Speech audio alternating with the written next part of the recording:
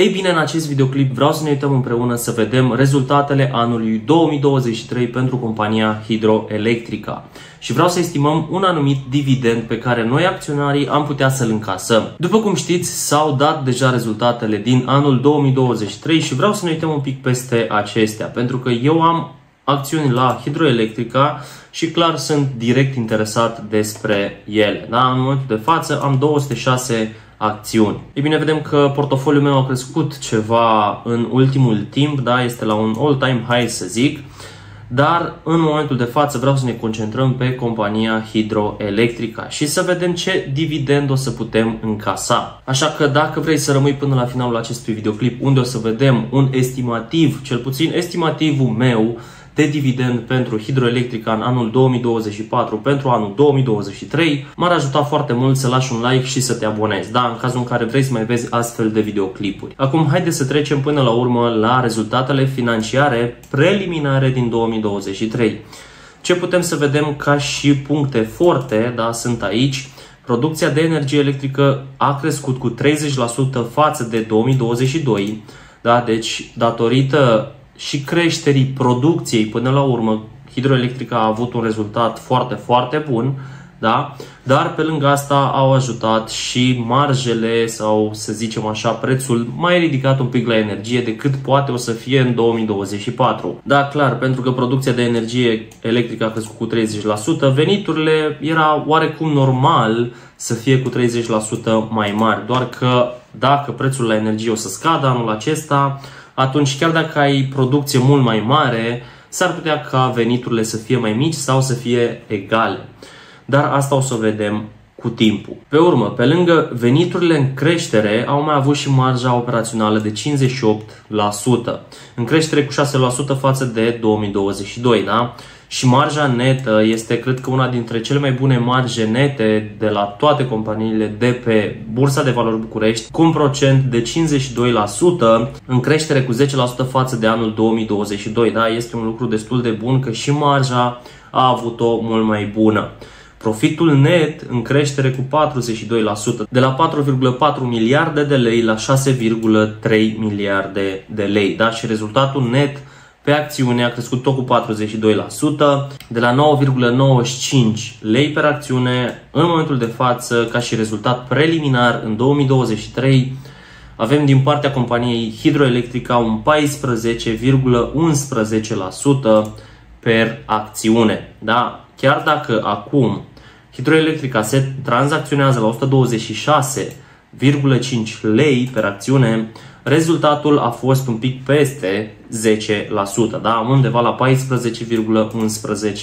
lei. Un lucru foarte bun, da? Cumva era de așteptat să aibă rezultatul acesta compania hidroelectrica și vreau să ne uităm un pic peste acest raport al uh, companiei. Vedem că producția de energie brută a fost de 18.000 de gigawatts oră, o creștere 30% după cum am văzut anterior.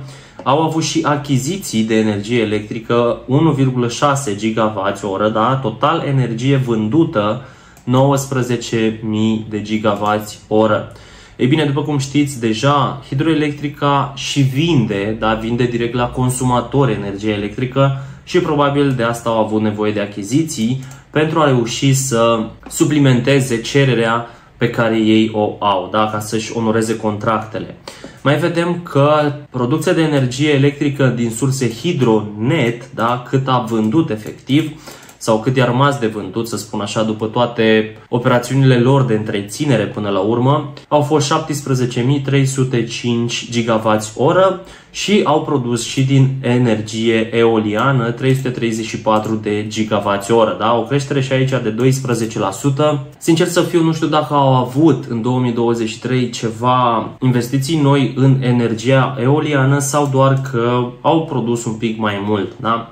Știu că cei de la Hidroelectrica se laudă de ceva timp că vor să investească cât de mult în energie verde, să dezvolte parcuri de energie eoliană și chiar fotovoltaică, dar momentan cred că sunt doar la nivel de discuții pe care guvernul, să zic așa, le propune. Dar probabil cu timp o să se întâmple treaba asta. Veniturile vedem că au fost în creștere, au avut 12 miliarde de lei față de 9 miliarde de lei anul trecut și marja netă, după cum am spus, 52 Rezultatul net per acțiune este 14,11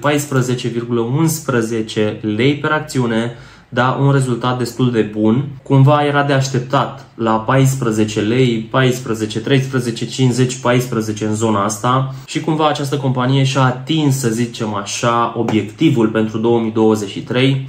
Sunt curios cum o să fie până la urmă anul 2024 pentru această companie. Uh, sper să fie cel puțin cu un 10% sub anul acesta, da? plus minus o să vedem cu cât se va vinde prețul la energie până la finalul anului și dacă anul acesta 2024 o să fie un an foarte ploios încât producția de energie să fie foarte ridicată, da? ca și anul 2023. Ce ne mai interesează este veniturile, din ce zonă au venit banii la această companie. Vedem că au vândut pe piața Angro de 6 miliarde de lei, da? undeva la 50% din tot venitul s-a dus doar pe piața Angro. Ca și venituri din furnizare, da? să vândă direct la clienții lor, da, să scape, să zicem așa, de intermediari, au făcut 3,4 miliarde, aproape 3,5 miliarde, o creștere cu 132%.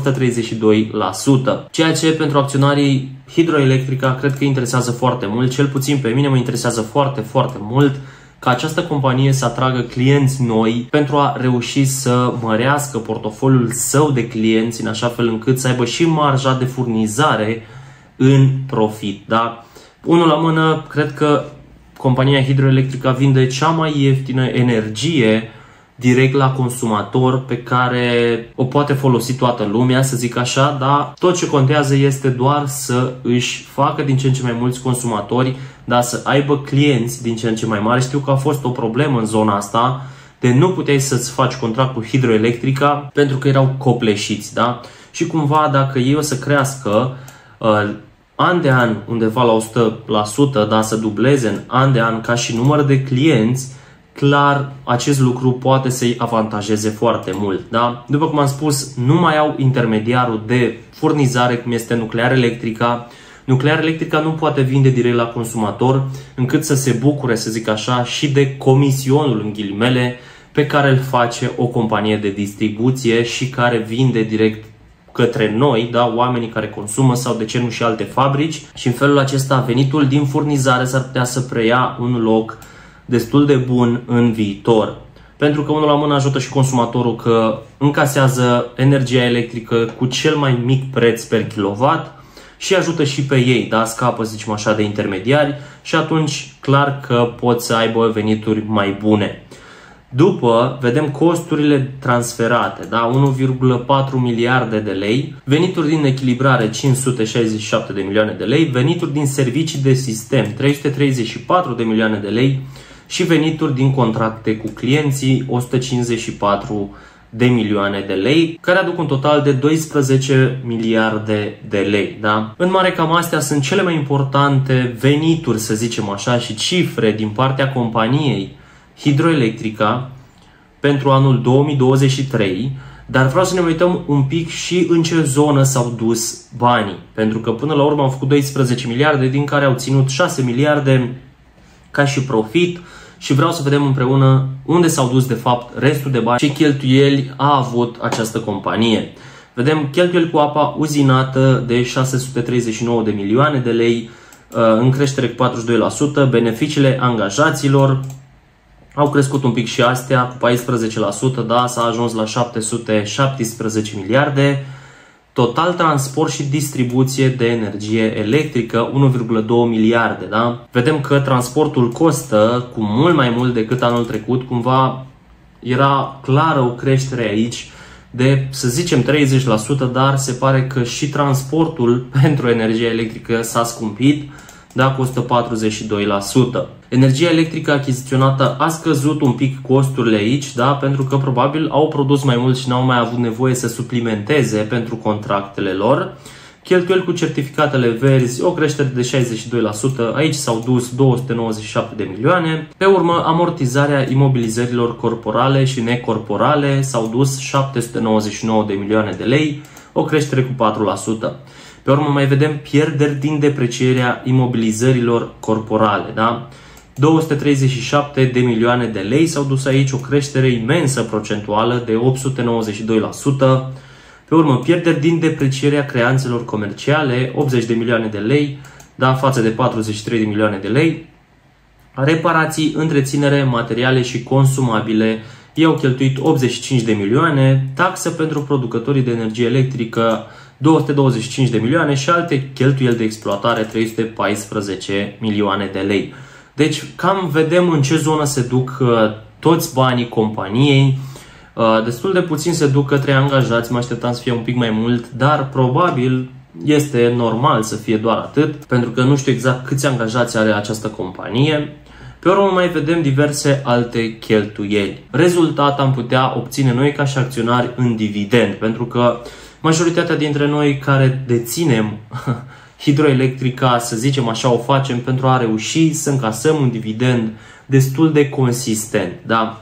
Cei de la Hidroelectrica în anii trecuți au avut o rată de distribuție a profitului net per acțiune, adică acesta de 14,11 lei, în anumiți ani de peste 90%, în anumiți ani 90%, chiar au avut și peste 100%, da? și vreau să calculăm împreună cam cât cred eu de fapt că o să se distribuie în anul 2024 pentru anul 2023 legat de această companie. Ei bine, eu am făcut un mic calcul, să zicem așa, prin care rata de distribuție ar fi de 90%.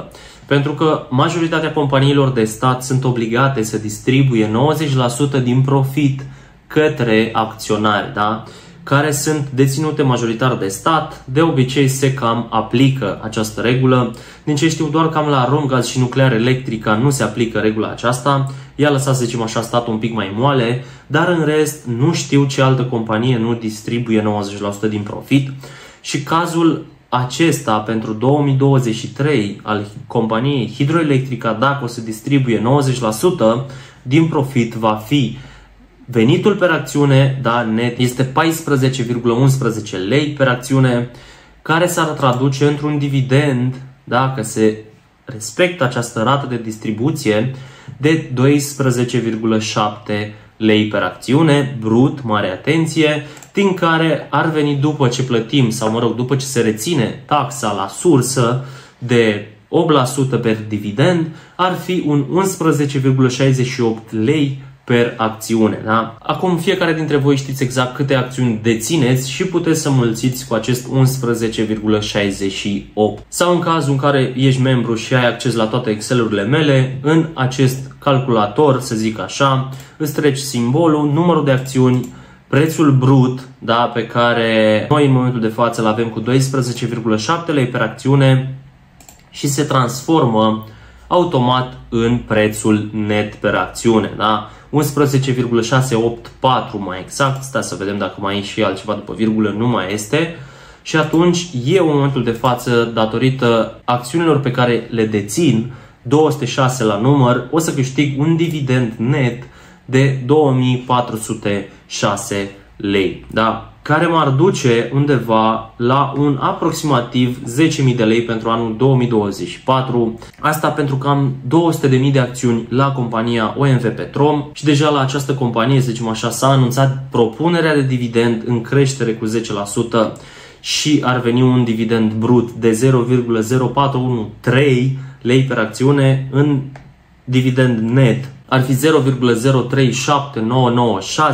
și de aici aproape aș câștiga 7600 de lei. Și aproape sunt la nivelul de anul trecut ca și dividend. În 2023 unde am câștigat 11.769 de lei, dar anul acesta, dacă nu se va distribui niciun dividend special, o să reușesc să obțin doar 9.976 de lei per acțiune. Acum depinde dacă o să mai reușesc să achiziționez chiar câteva companii care să-mi distribuie dividend în 2024 pentru a reuși să sparg această barieră de 10.000 de lei și anul 2024. Dar să nu uităm că există o posibilitate foarte mică, probabil sau nu, să încasezi un dividend special de la OMV Petrom și dacă ar fi treaba asta, aș ajunge cu dividendul destul de sus dacă ar distribui exact ca și anul trecut ca dividend special. Da, aș ajunge la 18.000 de lei, dar asta pentru alt videoclip și să vedem de fapt ce se va întâmpla. Sunt curios dacă ți-a plăcut acest videoclip legat de hidroelectrica. Vreau să știu tu câte acțiuni deții, crezi că o să se distribuie un dividend mai mare de 90% din venitul net per acțiune? Dacă da, lasă-mi te rog în comentarii ce procent crezi tu că o să distribuie anul acesta compania hidroelectrica și până data viitoare nu uita, alege să-ți construiești viitorul.